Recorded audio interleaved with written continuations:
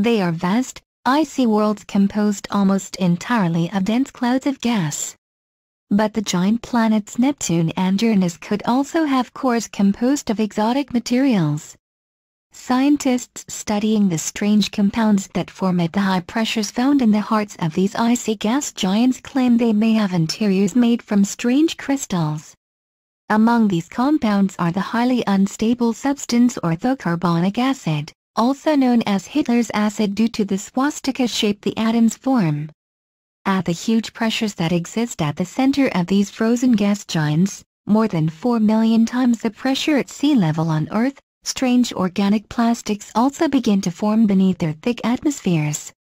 Professor Artem Oganov, head of the Moscow Institute of Physics and Technology's Computational Materials Discovery Laboratory, said, the smaller gas giants, Uranus and Neptune, consists largely of carbon, hydrogen and oxygen. We have found that at a pressure of several million atmospheres unexpected compounds should form in their interiors. The cores of these planets may largely consist of these exotic materials. The researchers, whose work is published in the journal Scientific Reports, used algorithms that predict crystal structures and compounds that form at high pressures. They have previously shown that unknown variants of salt that have far more sodium and chlorine atoms than normal can form at pressures that exist in the interiors of so-called super-Earths. They have also found that exotic new oxides of magnesium, silicon and aluminium can also form at these high pressures. However, the team decided to look at what would happen when organic molecules composed of carbon, hydrogen and oxygen are subjected to these pressures. These are the main elements that are found in the atmospheres of Uranus and Neptune. Professor Oganov said, this is an extremely important system because all organic chemistry rests on these three elements, and until now it had not been entirely clear how they behave under extreme pressures and temperatures. In addition, they play an essential role in the chemistry of the giant planets. Neptune's core is thought to be subject to pressures up to 8 million times that of Earth's atmosphere. The core of Uranus is thought to reach around 7.9 million times that of Earth's atmosphere. Professor Oganov and his team found that at pressures above 93 gigapascals, about 930,000 times Earth's atmosphere, methane begins to decompose.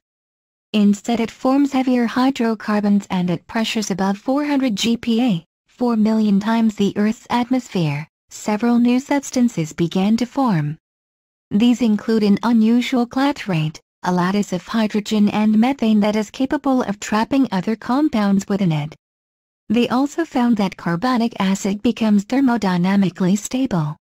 This substance normally needs strong acids for its synthesis and can only exist in a vacuum at very low temperature. These may form thick layers that form around the rocky metallic cores of Neptune and Uranus. This formed at around 0.95 GPa, around 10,000 times the Earth's atmosphere, which is thought to be similar to the pressures found inside the icy moons like Europa, which orbits Jupiter.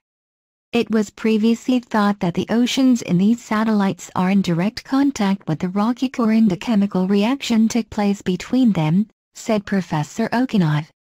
Our study shows that the core should be wrapped in a layer of crystallized carbonic acid, which means that a reaction between the core and the ocean would be impossible.